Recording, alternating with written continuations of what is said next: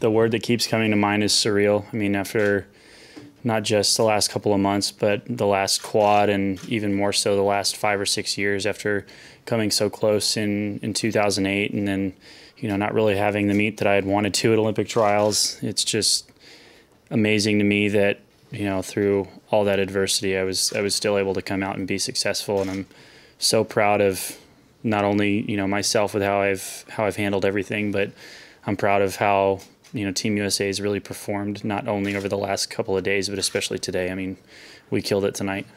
The the way the race went, I had planned it in my head a couple of different ways. I had planned myself being even or ahead or behind at the hundred, so I was prepared for anything and it really didn't change my race strategy a whole lot. I mean, I wanted to build into the very last wall have a good set of underwaters and then just keep my stroke together and get my hand on the wall as quickly as I could. It's, it's as simple as that. You know, even before tonight, before I made myself an Olympic medalist, there were people sending me messages like, you know, you're an inspiration to me and or uh, things like that. I mean, it's it blows my mind that just by doing, you know, what I've been doing for so long that people are taking something away from that is is very humbling and it's very rewarding and I mean I want to I want to do better in Rio and, and and keep giving back to the community in that way.